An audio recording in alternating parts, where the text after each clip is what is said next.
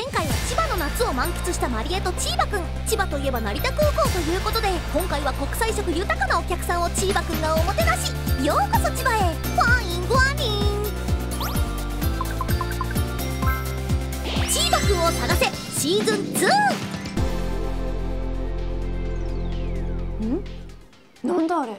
次のニュースです。チーバくんが台湾を訪れ千葉の魅力を PR しました。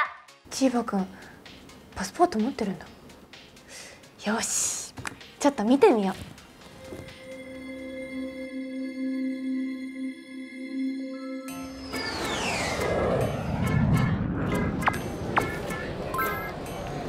おかえりチーバくん。ご苦労様。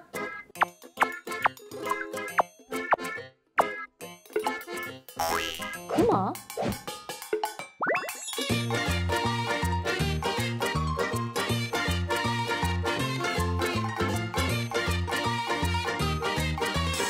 台湾から来てくれたんだ。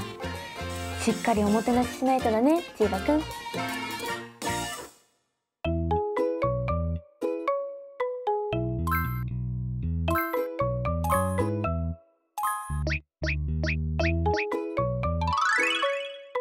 え？うなりくんもいるの？みんな仲良くね。